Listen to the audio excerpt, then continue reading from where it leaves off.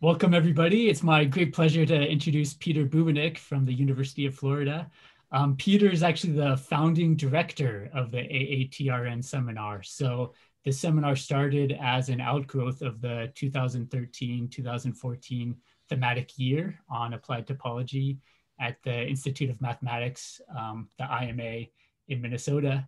And uh, Peter and Fadil Santosa had the foresight to start doing online mathematics, which is really led to um, how we do things in the seminar and our our library of of 180 uh, videos on YouTube. So we're very uh, grateful for Peter for all his work in founding the seminar and uh, honored to have him back today to uh, to speak to us. So thanks so much, Peter, and please take it away.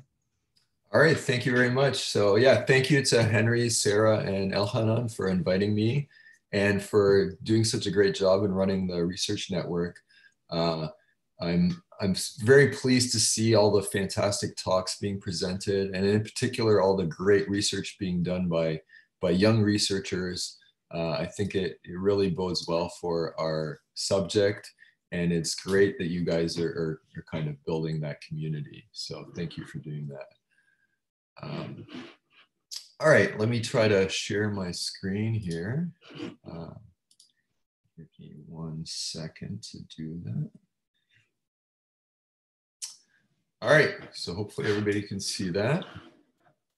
Uh, yeah, so today I'm going to be presenting joint work with uh, Nikola Milicevic, who's a uh, graduate student at the University of Florida working with me. And uh, yeah, this is primarily his work, uh, so I'm excited to be talking about it today. And uh, there, it's a subject or part of a subject that uh, has attracted a, a, fair bit of recent work. Uh, there's a number of uh, other papers that you should look at by other authors that take slightly different points of view, some of which cover the same territory. so these are kind of on, on the bottom right here. Uh, the, the graded module perspective on persistence modules goes back to early work by Zomorodian and Carlsson. Uh, and in the kind of continuous case, it's in the multi-parameter case, it's uh, looked at in the thesis of Mike Lesnick. Uh, some of the more recent stuff I'm going to be looking at toward the end of the talk is, is also been had related work by uh, Hitesh Gakhar and Jose Perea, uh, Polterovich and collaborators, uh, Ezra Miller has a, has a, bunch of papers that uh, uh, do work in this area. And there's also a nice recent paper by uh, Carlsson and Filippenko. Uh, uh, our paper is on the arXiv, so please check it out if you're interested in this. and without further ado, let me get started. I'm not going to assume that you know anything about homological algebra. and I'm going to start by reviewing persistence modules. Okay, so um, so if you're looking at things algebraically, these are kind of the main things of study in uh, persistent homology. And they arise usually from something geometric. So we have here a filtered uh, complex uh, more abstractly, it's a diagram of topological spaces. Uh, but computationally, we have finitely many uh, simplicial complexes with maps between them. And the most common and easiest setting is when all the maps are inclusions. Uh, so this is sometimes called a filtered simplicial complex. Uh, here we have the triangle thought of as a simplicial complex. So we have three vertices, three edges, and one face. And each of those appear at distinct times. Uh, one, two, the vertices appearing first in this case, then the edges, and then the, the two-dimensional face.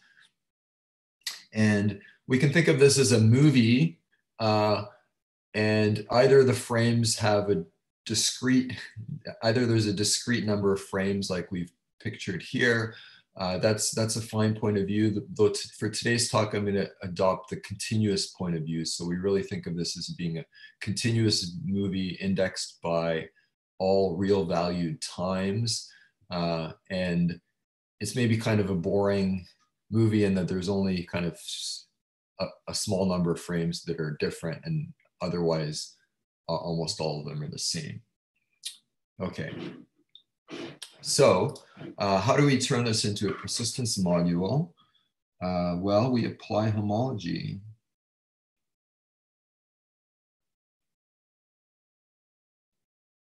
Uh, let me denote that by capital H. So it's going to be homology in some degree. So some fixed degree, one, for example, uh, with coefficients in some fixed field. And I'm going to use lowercase k to denote the field. Uh, computationally, of course, uh, our favorite field is uh, the binary field with just zero and one. We do ZMOD 2 arithmetic, uh, binary arithmetic. And the reason we love that is because computers love that. Uh, binary arithmetic is uh, encoded in hardware at the most basic level. So everything is very fast if we use uh, that field of coefficients. All right. Now, if we do this uh, and we take the continuous point of view, then for every real number, uh, we have a vector space M sub A which we get by taking the homology of this filtered simplicial complex. And so I need to give it some notation. Uh, let me call it X. And then I'm going to use the subscript to denote the time, time parameter. Okay, so we take homology at time A, and this gives us a vector space with coefficients in K. All right, and now, of course, the, the most important thing about homology is that it's functorial. So not only do we get vector spaces, but we get linear maps between them. So whenever A is less than or equal to B, we have vector spaces MA and MB, and there is a uh, linear map between them. All right. And uh, this also works in much greater generality. Um, and in particular, we can have things varying in multiple parameters.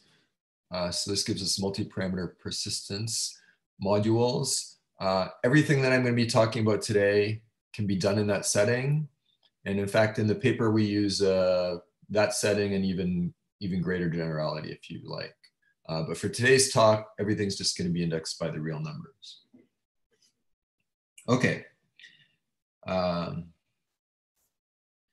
now, uh, so persistence modules maybe you've seen before, uh, but I want to take a slightly unconventional view on them, or at least something that's not always done. Uh, I think in most presentations this doesn't come up, but it does go back to the very earliest papers, which is the graded module point of view. So I'm going to explain what that is. Uh, so remember we had, uh, for every real number now we have a vector space. We have uncountably many vector spaces. And uh, what we're going to do is to take the direct sum of all of them. All right, that seems crazy. We're taking a direct sum of uncountably many vector spaces. How can we possibly do anything with that? Uh, well, the trick is something slightly subtle in the definition of a direct sum, which is that even if even if we have an arbitrary indexing set, elements of the direct sum are non-zero only in finitely many places. Okay. So if we have any arbitrary element in this direct sum, it's really only a, it can be written as a finite sum. So we have finitely many vectors uh, from finitely many of these vector spaces. So each of these VIs is in one, uh, one as that one time parameter A sub i. All right. Now, there, there's something that's missing in this notation, which is that we don't keep track of where all of these vectors live. So I'm going to formally add in that information with a bookkeeping device. And I'm going to use the most famous bookkeeping device in mathematics, the most important one, which is that of a variable. So I'm going to stick in a variable there, and I think of this as a formal sum. And I'm going to do something a little unusual. I'm not going to use subscripts for my vari to my variable, but I'm going to use exponents to differentiate between them. All right. Okay. And now notice that this, I've written it as a polynomial, which might seem kind of funny, but it turns out that polynomial arithmetic gives us exactly what we want. So let me explain that to you. All right. So, so what do we have here? So this, this thing here is now something called the R, R graded K vector space.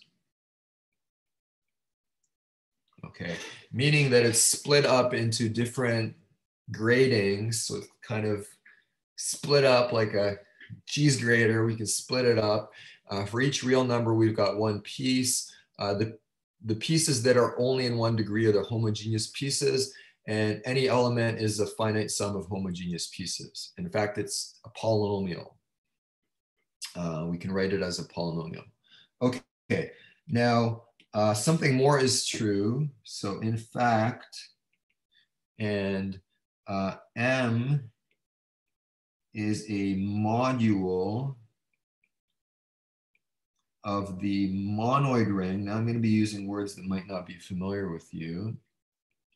Monoid ring of polynomials in variables x to the a where a is non-negative. Okay.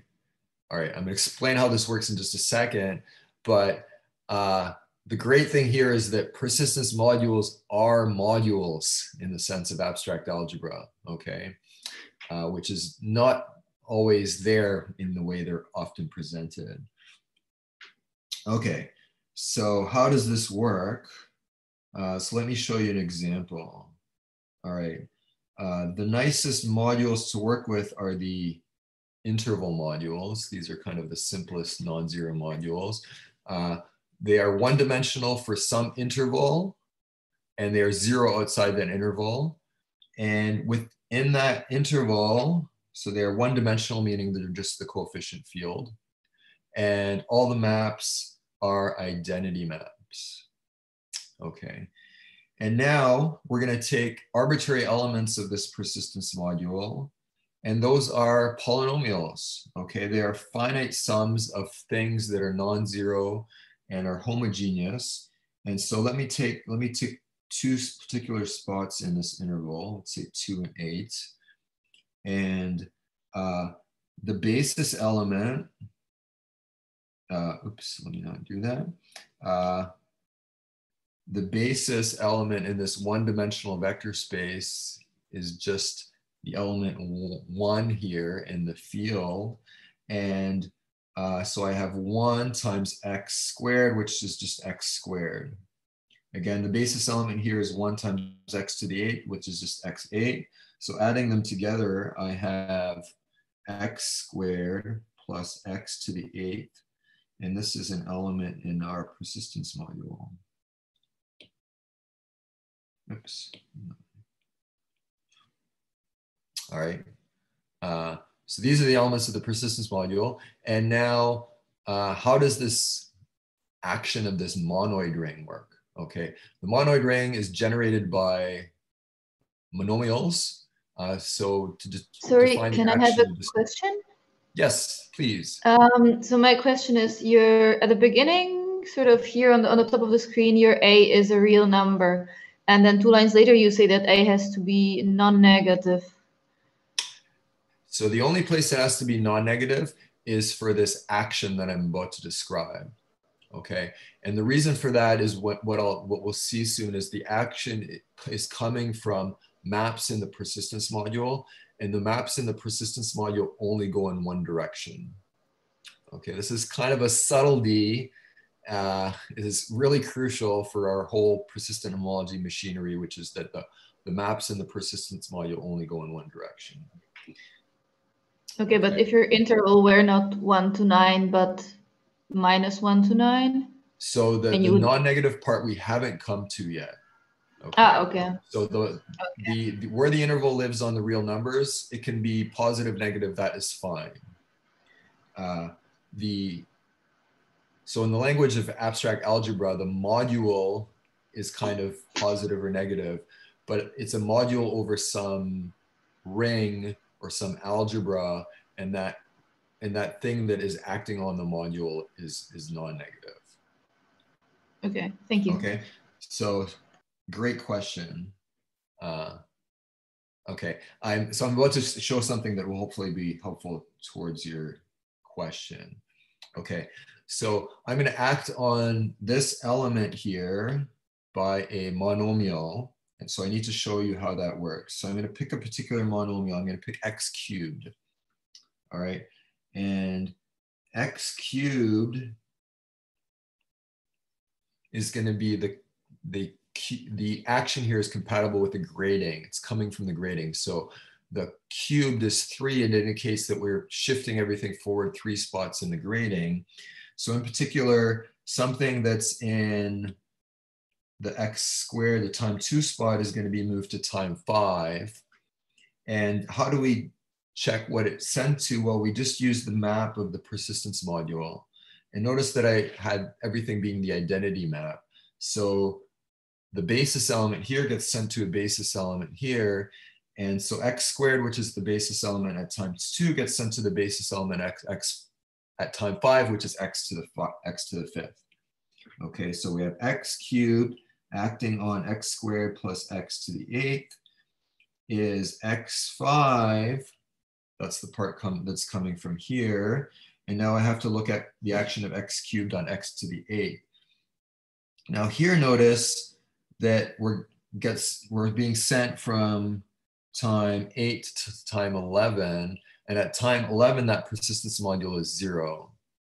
Okay, so the map from the persistence module sends everything to zero. So this is the end of the story. So x cubed times x squared plus x to the eighth for this persistence module is equal to x to the fifth. All right. Okay, so again, if you haven't seen this before, maybe you need to work out some examples, but hopefully this is, is helpful. Uh, I want to look at one more example, which is actually kind of an easier example, this unbounded interval here from one to infinity. And uh, this interval module has a, a, nice property. So k 1 to infinity is something called a free module. So I'll explain what this is right away. So if we take any element in this interval module that's non-zero, and we take any non-negative real number t, then if we act on w by the monomial x to the t, it's non-zero. Okay, why is that? So we take uh, anything non-negative, the action of x to the t just moves us forward t using this map here from the interval module, but all those maps are identity maps. So non-zero things get sent to non-zero things.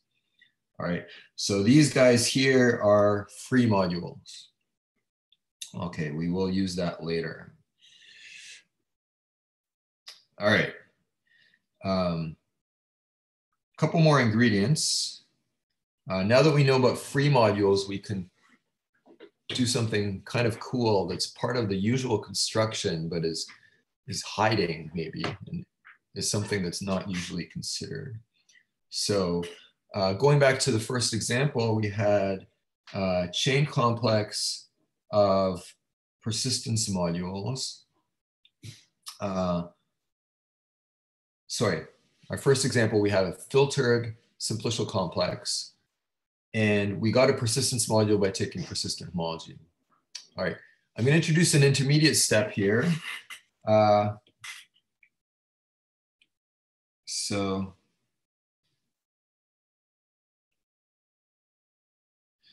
uh, which is that this construction here can be thought of as factoring through uh, something that I'm going to describe in a second called chain complexes of free, uh, free with two E's, free persistence modules.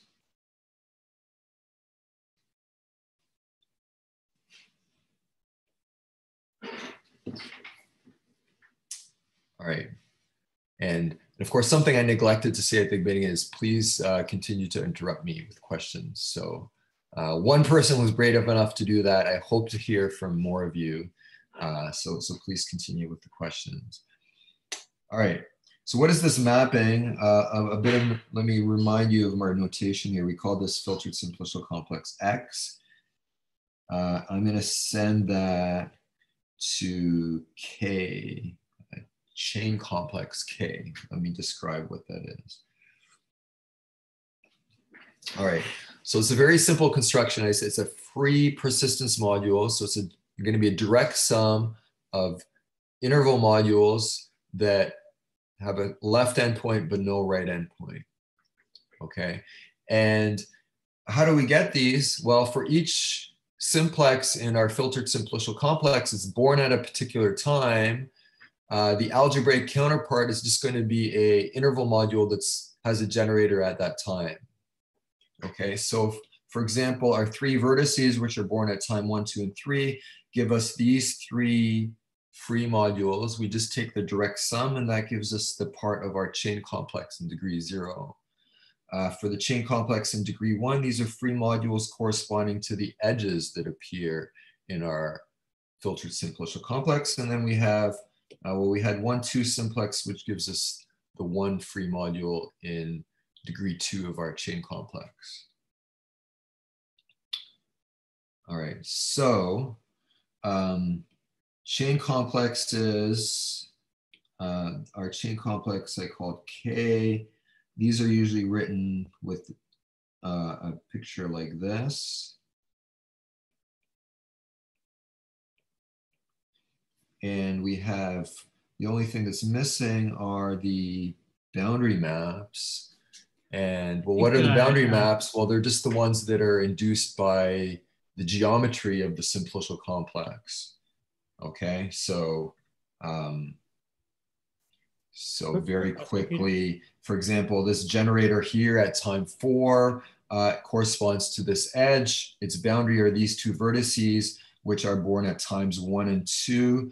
Uh, so at time four, we just send that to the sum of two things, which is the uh, basis element at time two of this interval module, sorry, at time four at this interval module and the basis element at time four of this interval module. Okay, it's very simple. It's just, just what it has to be. And if you do that and compute homology, uh, surprise, surprise, we, we get the answer that we expected, that we would expect. So let me write that down for you. So H0 of K is going to be a direct sum of three things.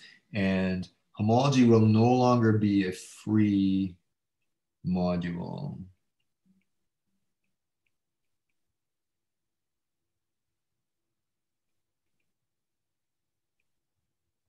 Hey, Peter, can I squeeze a question in? Yes, please. I don't want to break your concentration while you're writing all these out. No, go um, ahead and keep ask, ask. So, so um, am I correct? This is uh, this process of going to from the filtered complex to the persistence module via this chain complex of persistence modules is really just factoring the homology functor through this chain functor, right? Right, the functor that takes the individual um, the individual, uh, I don't want to use the word complex here, let's say spaces in the filtration to their chain complexes. Yes. I see. And so, um, all right, so, so it's just, it's just, if you took this view of persistence modules, like maybe more abstractly as just in terms of vector spaces and not necessarily uh, homology groups, right? not necessarily a vector spaces coming from a homology functor, right? Like this kind of purely quiver view of uh, persistence, then this was just another persistence module. Yes. Okay. All right. Thanks. Yeah. Yeah. I, I agree with everything that you said. So. Um, Peter, can I ask a question too? Sure. Yeah. So, uh, a very naive question here. Um, so you're using birth time to factor through. Is death time kind of coming also in an equivalence way? If I'm thinking about some form of duality, could I think about death time in terms of factorization as well? For example, that, that for example, when I, when my edge four comes in, my vertices, you know, between vertices one and two, one of them disappeared, right? So I can think about the you're using birth time in K0, K1, K2. Can also think about the modules in terms of the death time. Is that even a reasonable thing to do? Um, it sounds interesting, and I'm not sure. uh, so I, I I don't see a way to do that off the top of my head, but it sounds interesting. And Those are just definitely, images. definitely duality is a, is an important uh, part of this uh, uh, approach that I'm not getting into today. Uh, Okay. Uh, I see Nikola wants to tell you something. So, uh, Uh, I think what you're asking is those are just the images with the boundary maps. Uh, they're also free modules. They're just submodules of the corresponding uh, chain modules. Like, because what, what you're saying is you can use the that time as a to construct a free module. Yeah. That's exactly what you get when you use the image of D1. You get the, the module, which is uh, uh, what is it for infinity or something like that. Yes. Yeah, we can we can take it offline because I was almost thinking about there is a du- duality in here, um, but we can discuss this more offline. yeah, so the dualities are there are dualities here, and maybe we can talk about them at the end or offline. Yeah. Uh, and, and and we we do we do talk about them in our paper. All right. Um, okay, fantastic. Uh, I have one more construction before we can get into the homological algebra, and uh, that is that we can multiply persistence modules. Okay, and I'm going to stick with interval modules. We multiply interval modules. And this is a generalization of the tensor product that comes from graded module theory. Uh, so graded modules is often something that might be done in like a graduate course in algebra. And almost always things are graded by the integers. Uh, uh, but it, here we're in the continuous setting, but it turns out that we can kind of extend the ideas of, of graded module theory to that setting. And when we take the tensor product of graded things, uh, each of those things has pieces in different degrees. And the, the, basic idea is that uh, we take one thing in degree A, another thing in degree C. When we multiply them together, it ends up in degree A plus C. All right, it, it's kind of the obvious thing to do. Uh, so here we have two interval modules one of which has things in degrees between A and B, the other thing has things in degree between C and D. Uh, we take all possible pairs of those things and we get this rectangle of products of pairs of things from the, the starting interval modules. And they live in degrees between A plus C and B plus D. Uh, now, we started with two one dimensional things. We take the tensor product, we kind of want to end up with a one dimensional thing. And if we just take everything in this rectangle, we have like an uncountable dimensional vector space. We don't want to do that. We want to identify things that kind of can be ultimately traced back to the same, same thing. And in the interval module, everything comes from one generator. Uh, so when we look at a bunch of pairs here, this lower black di diagonal line here. Uh, everything that's there is coming from products here and here, but all of those can be kind of traced back to the generators A and C. So the right thing to do is to somehow quotient to identify those. Uh, so if you do that and you write down the definition, what you notice is that once you move to this part here, you also not only identify all the black things on the black diagonal, you also end up identifying them with things that kind of fall outside the rectangle, which is zero. Uh, so it turns out that everything on this black line ends up having to be sent to zero. Uh, so uh, our persistence module will start at A plus C and then stops whenever we hit one of the diagonals, one of the corner points of the rectangle.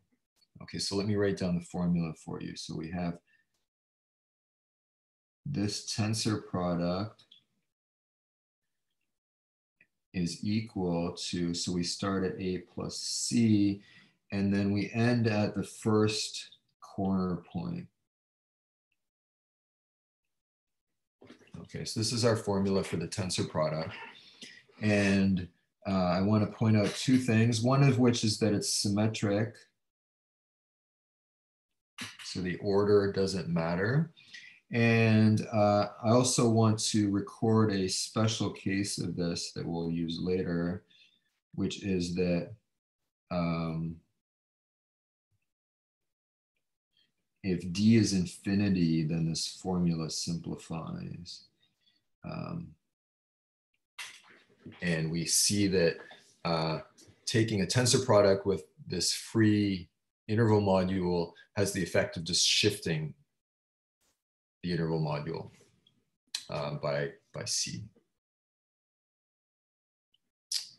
All right. Okay. So, uh, so we've seen a bunch of cool stuff. Uh, hopefully some of it's been interesting. And now I'm ready to dive into the, the meat of the talk, which is homological algebra. And I'm assuming you haven't seen this before. So let me say a few things about homological algebra. And actually, one, one, one thing I forgot to mention is that uh, this tensor product takes two persistence modules and gives us one persistence module. Now, if we fix one of those input persistence modules, then we have a mapping from persistence modules to persistence modules. It turns out this map is functorial. It's a functor from persistence modules to persistence modules. Okay, hold that thought. All right, now, uh, so let's fix a persistence module n. This is gonna be the fixed one in the tensor product. So it's gonna give us a functor from persistence modules to persistence modules. Um, now, in linear algebra, one of the maybe one of the big uh, things in persistence module is the rank nullity theorem. If you've ever been asked to compute Betti numbers using linear algebra, uh, then you end up doing some matrix reduction, you get ranks of different matrices, and what you really want is like uh, dimensions of kernels and images, and you end up using this rank nullity formula uh, a whole bunch of times till you get the Betti numbers that you want. Uh, so if we generalize linear algebra, which we do in abstract algebra, the right generalization of the rank nullity theorem is something called a short exact sequence. All right, so this is what we have here. Uh, so we have three persistence modules uh, with maps between them. And they have a particularly nice property, which is that the kernel equals the image at each spot of the sequence. All right. So in particular, the last map here is onto. This map is, this is surjective, this is injective, and in the middle here, the kernel of this map is the image of that map. Uh, this is a really useful computational tool. If you have a short exact sequence, you can uh, use information about two to three of these things to tell you a lot about the third one. All right, so if we, now we now have this functor, which is a tensor product with n, uh, which we can apply to a short exact sequence. And one might hope that again, we get a short exact sequence and now we can compute stuff with, about tensor products. Uh, it turns out that only kind of works. Okay, so we apply tensor product with n. What happens, we get an exact sequence that's almost what we want.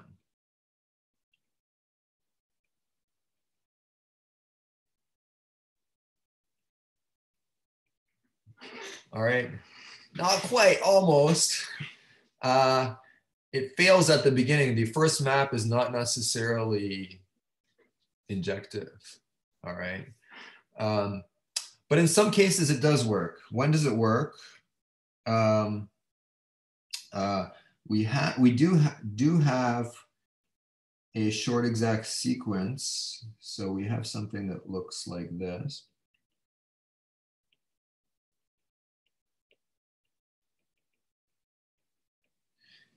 If and only if n is somehow has some nice properties, n has a, a nice property which is that it's which has a name called projective. Okay, uh, I'm not going to define what it is, uh, but since this is an if and only if, uh, we can actually take this to be the definition. So the left-hand side, uh, being short exact sequence for all exact sequences, uh, is the definition of projective for the purpose of this talk. And the only other thing we need to know about projective is that it's implied by another condition that we've already seen, is that n is a free persistence module. Okay, so free interval modules are projective uh, if they are if they are semi-infinite in the right direction. Uh, and those are the only projective modules that we're going to be using. Okay, uh, so if n is not projective, it turns out that this sequence here can be extended to the left. Okay, uh, so in general, we have this exact sequence here, which has consecutive terms, which I've given names for. Uh, and I'm going to show you how to compute them actually. Uh, they're called Tor modules. Uh, and they're, the great thing is there's a recipe for computing them. Okay, there's a recipe. I'm going to tell you what it is and we're going to see how it works. Um,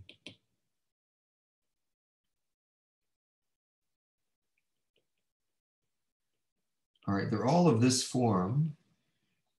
Uh, and there's a simple three-step recipe for getting them. Um, okay, the first one is involves something you haven't seen before, which is to take a projective resolution of M. The second step is to apply our functor, which is the tensor product of N, and it turns out then that gives us something we've, we've seen before, which is a chain complex of persistence modules. And we just take homology of that, which is also something we know how to do. All right, so let's see how this works with one example. All right, so again, we're gonna work with interval modules and um, so we want a projective resolution. The first thing we need is, so we want, it's going to be a free resolution. So we want a surjective map from a free interval module onto this module that starts at A. Well, there's only really one that works, which is the one that starts like this. This is a surjective map of persistence modules. And now you build it up iteratively. You look at the kernel of that map which starts at B.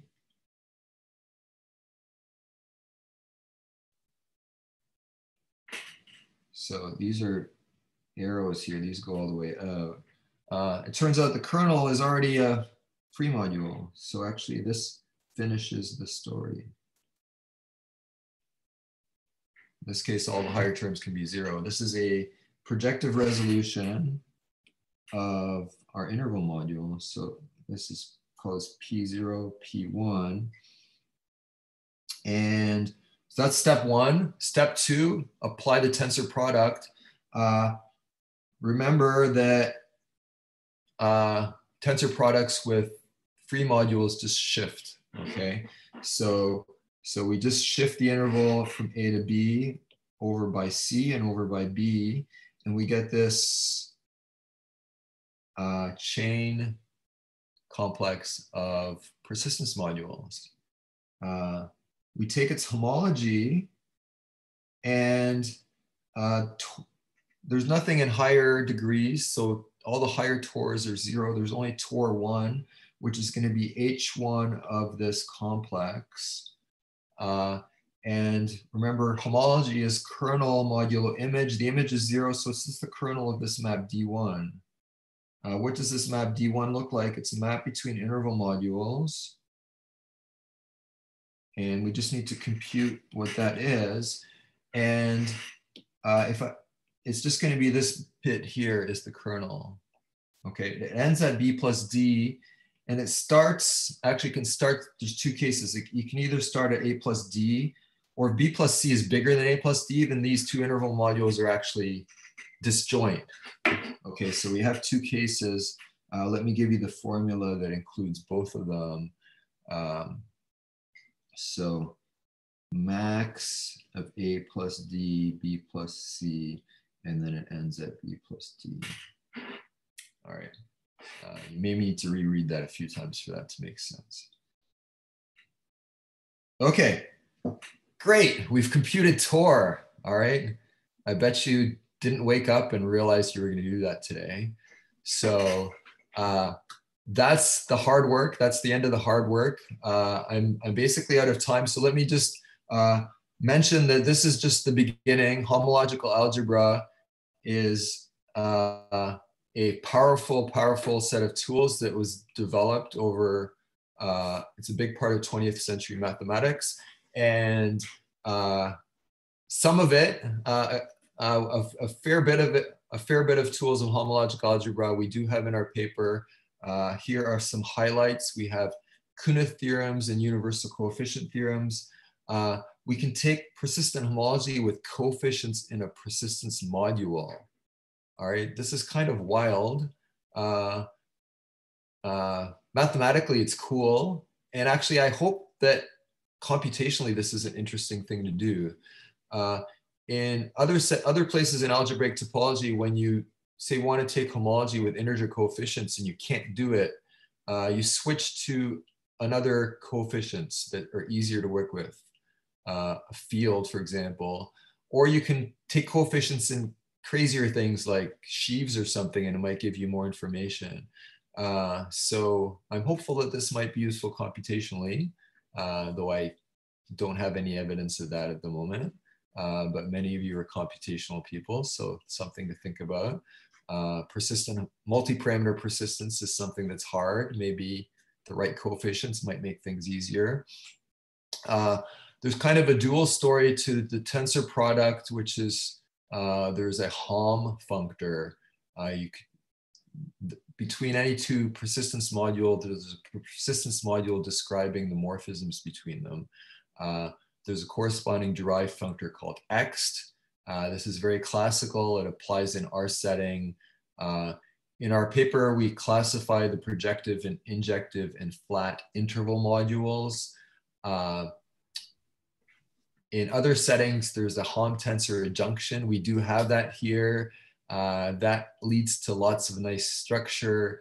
Uh, persistence modules are something called a closed symmetric monoidal category, uh, which allows you to do enriched category theory. So persistence modules are enriched over themselves. Uh, one other thing that I didn't mention at all, which is that uh, in parallel to the graded module point of view, there's a sheaf point of view of persistence modules. Uh, you can do all of this using that point of view and you get similar results that are actually different. Uh, so there's a, uh, a story there that uh, I invite you to take a look at. And with that, I will end my talk. Thank you very much. Fantastic. Thank you. Before we get to questions, let's all briefly unmute ourselves and applaud and then mute ourselves again.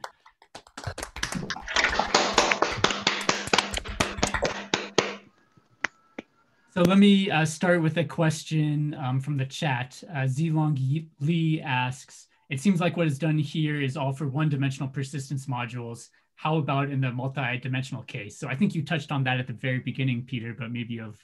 Yeah, so let me maybe say that again. So, uh,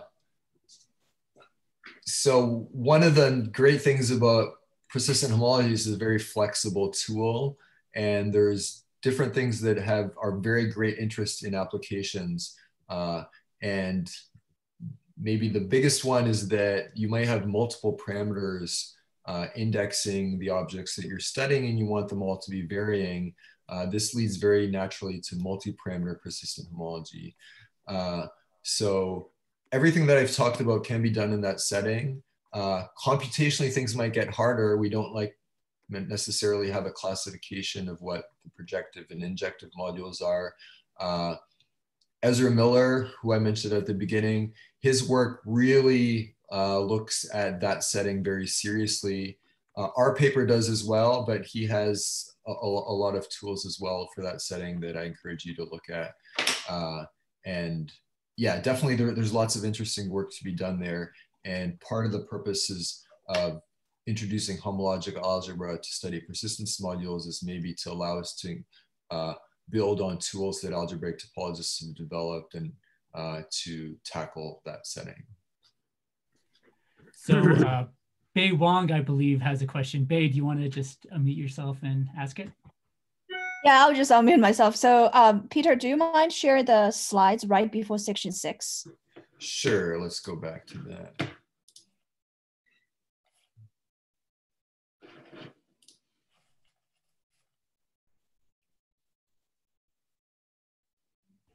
All right. Right. So so so if I understand this particular example, your input is uh you have um, m and n, and then you try to figure out towards end what is the definition of the Tor of mn. But in between, the first step is you are trying to figure out this sort of almost like you know, lack a better word, exact sequences. Um, so the question is, you start with AB, which is m, and you started by having another map going from A infinity to AB and further from B infinity to A infinity. Those map comes naturally in a way like, you know, I mean, what is sort of the recipe here when you find those maps?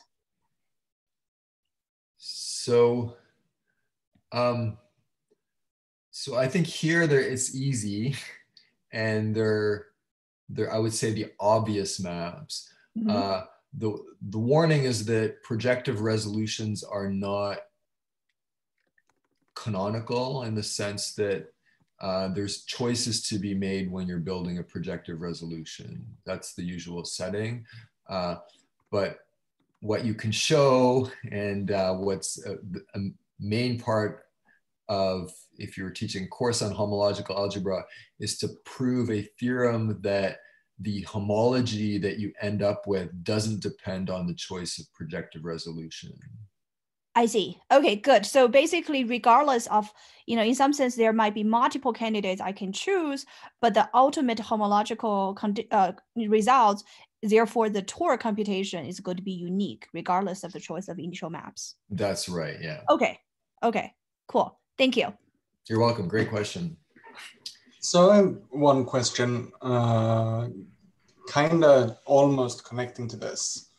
Um, you've done everything here with interval modules throughout. And so if we are in a setting where we have an interval decomposi module decomposition for all persistence modules, it seems relatively easy to see how everything just generalizes to arbitrary persistence modules. Have you done any thinking about uh, the weird cases when interval module decompositions break down? Uh, that is a great question. Uh, the short answer is no. Uh, so, uh, so I, at the beginning of your question, I, I, think there's an important point there maybe that I didn't emphasize, which is that um, I'm looking at a very special case of interval modules. In the one parameter case, uh, we have fantastic structure theorems that in nice settings, uh, one parameter persistence modules decompose into direct sums of interval modules. Uh, and because all of these constructions are linear, uh, working with tensor products of interval modules actually gives you the whole story because you just kind of extend by linearity to give you the general case. Now that's the general case for things that are direct sums of interval modules. And what MVJ is asking is a great question. Is there's some interesting things uh, kind of uh, there's one parameter persistence modules, for example, that are not decomposable. And so uh, the broader question maybe would be is does homological algebra shed any light on working with these? And uh, that's a good question. I haven't thought about that. Further questions? Um, can I have a one more philosophical question? Um, there's this magic tool earlier, also in this exact slides, where you define n is um, projective, right? So can you say a bit more about what is a nice property do you bring once you put this condition there? I feel like this is seems like a, a magic, you know, ingredient somewhere to make things behave well. Can you say something about, you know, under this condition, why so, is it starting to behaving well? Uh, so it, the property is very much a mathematician's property in that they are defined to be persistence modules that allow you to do what you want to do. so in particular, when you're building these resolutions, uh, you have certain maps that are given to you and you want, there's a certain map that you need uh, to do the construction. And and then you want things to commute and you just define a module to be projective if there exists this map in all cases so it's, it's kind of a, a lifting map it's a lifting property in a way uh, okay. and then there, there's dual uh, there's a dual setting where all the maps are flipped and you have injective modules and then they have a certain uh, so like one of them's in a they, they one of them's like a lifting property and the, the other one's an extension property. Uh, and then uh, if you're an algebraist studying ring theory, then you uh, want to know, well, what, what exactly, what modules over this ring are actually having this property? And then you, um, uh, and then, I mean, people have other equivalent formulations in, in particular settings, but uh, if you're working kind of in the most general setting, then it's really just these these properties that you have to work with, and and there, there's kind of a list of equivalent things, and one of the equivalent thing is that, that we have this uh, this guy being a short exact sequence. Cool, thanks. You're welcome. Can I have a quick question too, actually? Sure. Um, so this is uh, both a philosophical and mathematical question. So uh, the question is, is as follows. So for all of these uh, homological algebra constructions, uh, on a persistence module, which comes from, say, a filtration on a topological space, is there a topological operation which induces it? So like maybe the hom corresponds to some persistence of some mapping cone construction or if that question makes sense. In other words, can all of these operations be interpreted either geometrically or topologically as the persistences of derived filtrations on derived spaces? That is a fantastic question. And uh, you've actually jumped to something that, that took me a while to get to, which is that uh, if, if you look at our paper, we, we do some examples of various constructions. So we, we, we take the tensor product uh, with different interval modules and then we get these exact sequences. And the curious thing is that those sequences that we get seem to kind of have a, a space level interpretation, uh, some of which we were able to make precise and some of which um, actually seem to have like non-trivial ways of making precise that at least worked in some examples. Things like taking uh, cohomology with compactly support compactly supported cohomology or things like that. Uh, and I think uh, so. That is a great question. There, there seems to be uh, a, like a space level interpretation of some of these algebraic operations that seems to be non-trivial. Uh, we, we say a few uh, things in our paper and then we leave the rest. for somebody else to do. So uh, great question. Uh, maybe you or somebody else in the audience will will give us some answers to that. I'd be excited to hear about that. Very interesting. I'll look at the paper then. Thank you. More questions?